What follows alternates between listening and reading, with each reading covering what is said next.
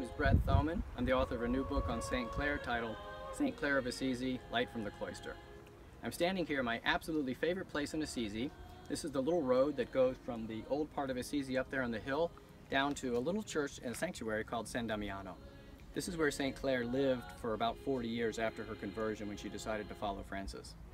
Now we know from the sources that Clare was from a noble family. She was born in the upper part of Assisi where the nobility lived. Her father was a knight, her uncles were knights, her cousins were knights. But when Clare was 18, she decided that she didn't want that life.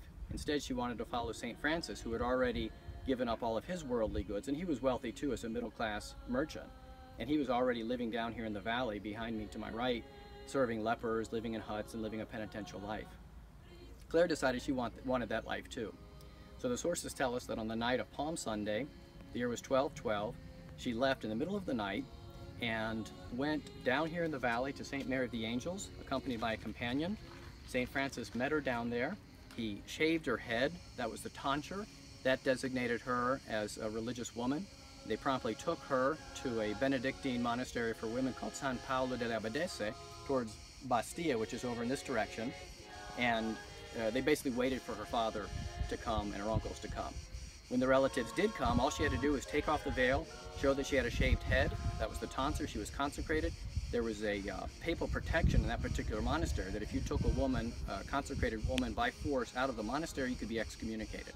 So the family members left and Clare was safe in religious life. So the sources say that uh, after a short period of time, maybe a week or two weeks, the friars accompanied Clare from San Paolo to a place up here in Mount Subasio, back here, you can't really see it, uh, to a little place called Sant'Angelo in Panzo. And we're not sure too much about this community. It was either a, another Benedictine monastery for women, or perhaps it was sort of a beguinage where a community of women were living together, not necessarily under a rule, but maybe serving uh, poor people nearby. We don't know too much about it, but we do know that her sister, Agnes, joined her there, and Francis gave her the tonsure there as well. So after a short period of time, the sources actually say it was 16 days after her conversion, Francis led Clare and Agnes down here to San Damiano. And they walked along this very same path that we are right here. Uh, this was an old road that went from the sanctuary up into Assisi. We know that because there's a funerary monument, an old Roman funerary monument at the top of the hill.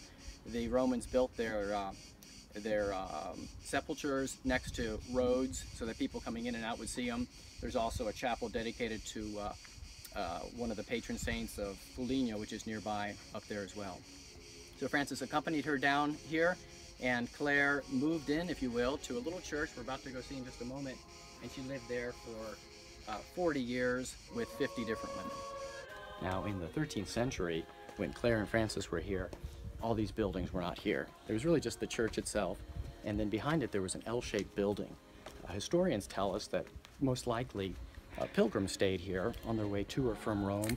There's a little road down here that went up towards Siena, that direction joined the Via Francigena.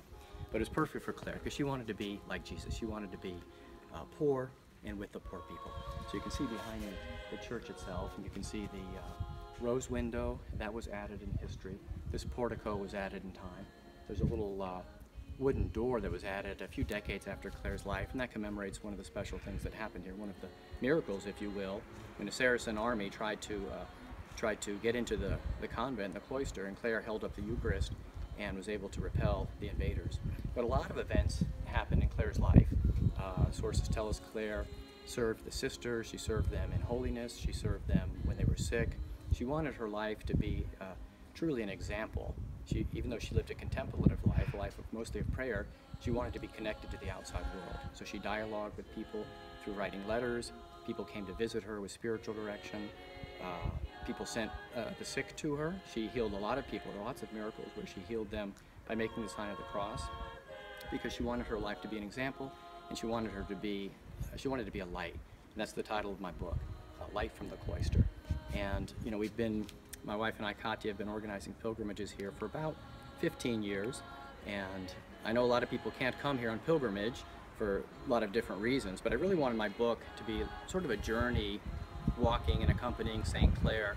So the book is kind of a pilgrimage. I really wanted to bring people here to San Damiano to go inside the cloister, to get inside the life of Clare, inside the stories, and uh, to really uh, to walk with Clare and accompany Clare. So I hope you'll be able to check it out. St. Francis or St. Clare of Assisi, Light from the Cloister.